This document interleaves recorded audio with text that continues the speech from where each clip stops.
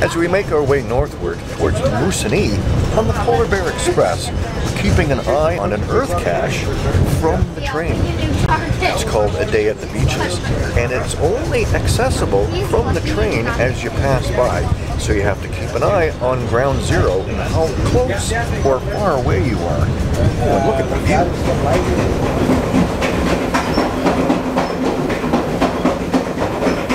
This episode, we're traveling aboard the Polar Bear Express from Cochrane, Ontario to Moosonee near the bottom end of James Bay.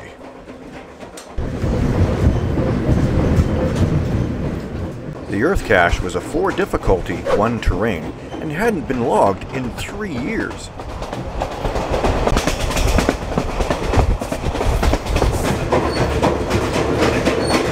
After 5 hours and a bit of a nap, we arrived in Moosonee.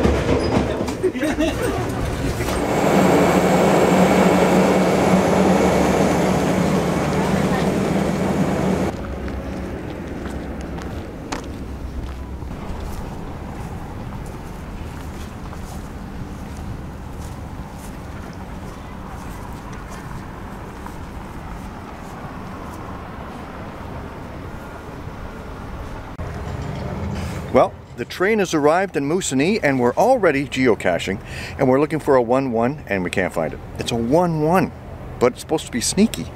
It was just replaced by the CO and we're trying and uh, we're not having so much luck so far. I would have put it right here, but no. Well, I do happen to have the CO's phone number, so I gave him a call. He said he's just going to stop by gave me a bit of a hint, but it's not the original rating. Originally it was a 1-1, but it's been replaced and it's not as easy as it was. There you go. Once you figure it out, the hint makes sense. Yeah, and it's the original placement even, and the Hmm. container is very similar except the original, the 1-1, Had a black cap. it was all black. So this one is actually much, Much easier to see, yes. And we're so glad to get this one because this is the very first geocache In that was ever placed in Moosonee. Cool. And the CO came and joined us. Crown Clan, Yes. right here from Moosonee. What's it like being the resident kind of geocacher of the area? Well, I wouldn't say I. We don't even think of ourselves as the resident geocachers. Um, locals that were here, friends of ours, got us into it. Yep. Uh, we had young kids at the time, so of course that's a, a lot of times the way you get cool. into it. But I noticed they're they're not uh, really old, except for this one. This one is 2005, Yeah. and uh, we did he did help us, but we did get it on our own, kind of. Kind of. Yeah. Yep. So, but a lot of them newer ones. So do you rotate the caches around, or do you? we don't. No. So we've had other ones that we've decommissioned just because issues with Yeah. with certain ones. Um, but for the most part, we've had the same ones since we started. Yeah. being a small location Yeah. uh, and whatnot, they get vandalized quite often. So Oh, that's yes. usually a lot of Yeah. the issues that we end I would up. think that you would, as a small community, kind of put out your own caches and then archive them and put them out again for different, like to keep, because you're so remote. Yes, we have a lot of tourists. Yeah. So we get Hey. a lot of cachers. That's us. So it's uh, it's quite. We get a lot of canoers that come through, and Yep. then and they do a lot of geocaching. This is a sort of a staging area when they're leaving. Oh, very so nice. at uh, usually at five o'clock or just before they they stage here just to go out on the train. Very so cool. they'll paddle in and then, Yep. train out. s we saw somebody get dropped off Yep. uh, to get paddled. They were going to paddle down the last river Yep. and then around the corner and come back. I never thought of that. That sounds cool. Yeah. Yeah, So, so- yeah, lots of tourists. So Yeah. keeping the same ones. There's not a, a lot of local uh, cachers. Yep. We've tried to help get people introduced to, to caching, and there's a few local and friends that we, Oh, we've very gotten nice. in. But yeah, no, Well, it's uh, thanks for it's thanks for keeping it up. Yeah. And this one, yeah, It's this like an extra hint to find it. Yeah. This one was disabled before we came, and I sent him a note. Yeah. I said, "Hey, can you fix that one up before we come?" And he did. That's Yeah. awesome. Thank you so much. Not a problem. It's good. Nice. Very nice to meet you. Very nice to meet you. Great hide. I missed it the first pass around, and then when I went back down again. And sometimes you got to get down and dirty. And a garbage place, that's pretty dirty, but I got it. Just like that, we're going to get a tour to get some other remote caches that we couldn't get to by walking. Steve's going to take us there.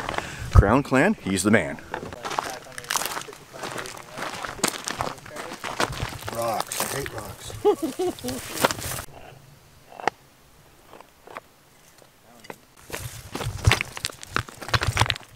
And just like that, it's a fake rock. We can't show you where it is because you got to come find it yourself. This is a four, what? A four, one, one and a half. It's a four, one and a half. And yeah, it was, uh, we had some help. We have to say that. Uh, uh, the CO just kind of took us around and didn't torture us too much, but we found it. But he narrowed in the zone. So we have to give him kudos for that. Yes. And we'll give a favorite point for sure because this was a cool one.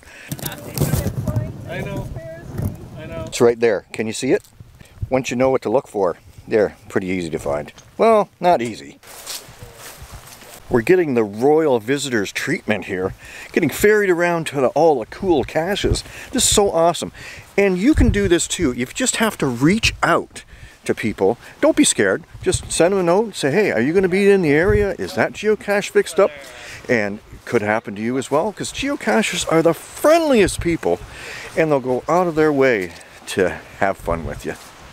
Found it. It didn't stump me.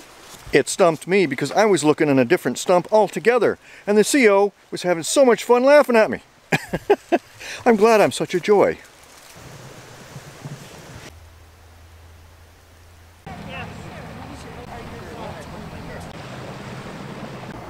Look at this thing.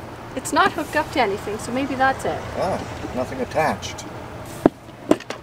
Oh, look at that. There it is. We got it. Yay! That was a 5-2. That was a difficult one because holy our coordinates were way off. We were looking uh, way over there until lyriclass spotted this thing that had nothing attached to it. Good hint.